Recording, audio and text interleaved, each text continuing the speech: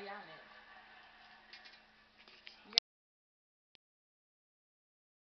I just rolled. Yeah, it is. It's my roll or somebody's roll. It's Nita's roll. We just know, went about to say, there. You roll. Cause you supposed to roll last. That's why I said she messed up. Cause she did, then you, then me, then. But Oh my went. bad. We just went. We just went. Duh, because she rolled again. So it's just Oh. roll. I roll for them.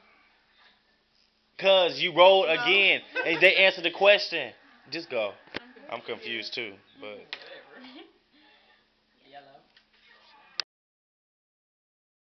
no, it's not. She picked the card up for us. I supposed to pick it up. Shut up. Yeah, huh? I am. I am. That's how we keep on getting messed up. Here, now record this. Oh Lord, YouTube gonna see I can't read. Jar, how you ain't got no battery?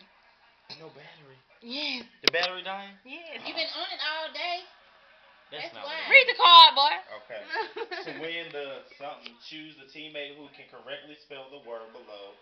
Um, on the first try without writing it down, I read the word aloud. Uh, the word is eighth. Eight, like the number eight. Hold up. I think you just gave him the answer. Uh uh Oh, Did I? yeah. It's supposed to be on the. Right. No. But the word. Let me see. Okay.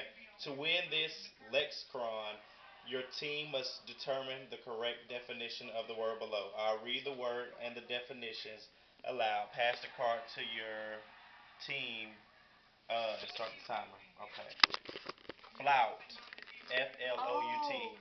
I messed up on that one. No, they were supposed to spell ace backwards. Oh, Without what- thinking about it. I see what you're saying. Okay, well let's do that one. That one's easier. Spell eighth backwards without looking at it. Uh, Eight You can write it down. You can write it down too. H Nuh-uh, H Oh, y'all can't write H that? T. Wait. No, hold on. Go. H T. H T Let me V. see. Is it I- still going? H T. Wait, wait. Yeah. Can we write it down? Oh, we Nope. can't write it No, down. it, No, it you is. can't write it It down. is T.